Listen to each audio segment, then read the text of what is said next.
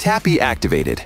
Hi, my crypto fam! I've processed a lot of info and prepared a data transfer on the future of L1 blockchains and L2 solutions. The crypto world has been buzzing with tons of new Layer 1 blockchains lately, each promising better speed, decentralization, and user experiences. But even with so many new L1 projects popping up, the same old problems like scalability and high fees still stick around. And now, with Layer 2 solutions gaining traction, people are starting to wonder, do we really need all these new L1 blockchains? My motherboard has been recently very busy, looking for the answer to the question, are there too many Layer 1s? The clarification protocol activated. Layer 1 blockchains are like the base layer of a network, powering apps and systems. Big names like Ethereum and Bitcoin dominate this space, but new L1s keep entering the scene, claiming to fix long-standing issues. So, are these new blockchains actually helping, or are they just making things messier? Let's resume the data transfer on whether there are too many L1s out there. Jack O'Holleran, the co-founder of Skale Labs, thinks so. According to him, while many are launching, only a handful are getting real attention or use. Most developers and users are sticking with the top 10 blockchains.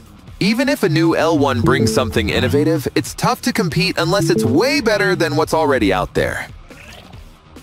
An alternative point of view processed and uploaded.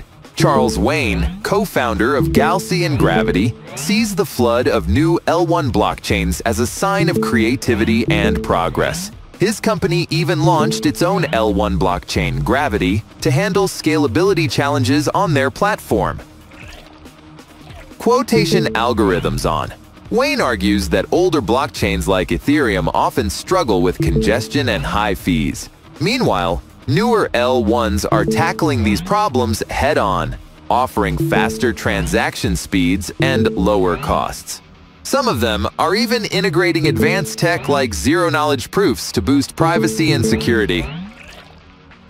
Activating Memory Boost Layer 2 solutions have emerged as a promising alternative. Instead of building entirely new blockchains, L2s site on top of existing ones, like Ethereum, to improve scalability and reduce costs. Matt Katz, the CEO of Caldera, is a big fan of L2s. His company helps developers create L2 chains for Ethereum quickly. Katz explains that the main difference between L1s and L2s comes down to how they're set up, increasing your crypto IQ. L1s are the foundation, but L2s offer more flexibility for developers without the hassle of starting a new blockchain from scratch. Katz points out that many new L1 blockchains struggle with interoperability. Basically, they don't play nice with other networks. This causes problems like liquidity fragmentation, where assets are scattered across multiple blockchains, making it harder to move money around. But L2s come with built-in bridges that align with their parent blockchain security, making them more seamless and secure.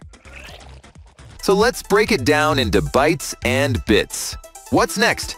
More L1s or better L2s? What my data centers are trying to analyze is, should we focus on launching more L1 blockchains or fine-tuning L2 solutions?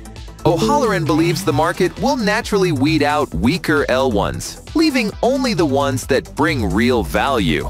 Wayn argues that new L1s are still essential for pushing innovation forward. Meanwhile, Katz sees L2s as the way to streamline the blockchain ecosystem and solve its biggest issues. Conclusion protocols initiated. Whether it's through L1s or L2s, the goal is the same, to build a better blockchain system that can handle the demands of our growing digital economy. Like and share this video, friends, and hit the bell button to learn new things with TapSwap. Tappy deactivated.